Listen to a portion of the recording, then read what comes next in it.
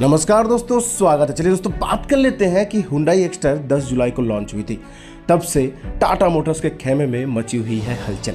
जैसा कि मैं आपको बताते चलूँ कि हुंडई एक्सटर सनरूफ के साथ और सीएनजी के साथ मार्केट में उतरी, वहीं पे टाटा पंच में सिर्फ़ और सिर्फ़ पेट्रोल वेरिएंट आपको देखने को मिलता है। दोस्तों, आजकल के डेट में माइक्रो एसयूवी का मार्केट इतना बड़ा बन गया है कि आप बिलीव नहीं करोगे, लगभग दो लाख के ऊपर की आंकड़ा पार कर चुकी है Tata Punch within a one and half years इससे आप ये समझ सकते हो कि कितना ज़्यादा लोगों को आजकल आकर्षित करते हुए नज़र आ रही है माइक्रो एसयूवी एक समय ऐसा था जब आपका हैचबैक का ज़माना था बट हैचबैक का ज़माना अब जा चुका और अब सिर्फ़ माइक्रो एस का मार्केट देखने को मिलता है। दोस्तों, इसी तर्ज पे हम आपको बताते चलते हैं और जो अपडेट दे रहे हैं वो काफ़ी इंपॉर्टेंट होगा।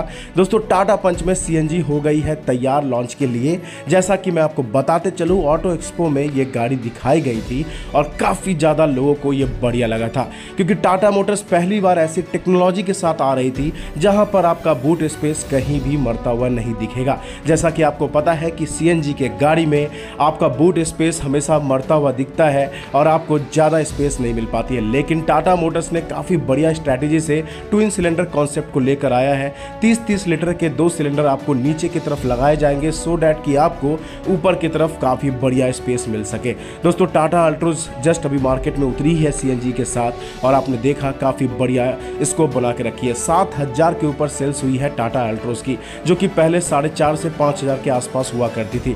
तो सीएनजी की मार्केट आजकल बहुत ही बड़ी हो चुकी है और काफ़ी सारे लोग सीएनजी का इंतज़ार कर रहे थे काफ़ी दिनों से। तो हुंडई एक्सटर के लॉन्च होने के बाद काफ़ी ज़्यादा मार्केट में हाइप बना कि टाटा पंच की सीएनजी कब आएगी। और दोस्तों, चलिए खुशखबरी है आप लोग के लिए। कंपनी की काफ़ी सारी डिटेल जो है वो लीक हो चुकी है। और सबसे सरप्राइज़ चीज़ जो है वो ये है कि आपको टाटा पंच में सनरूफ भी देखने को मिलेगा।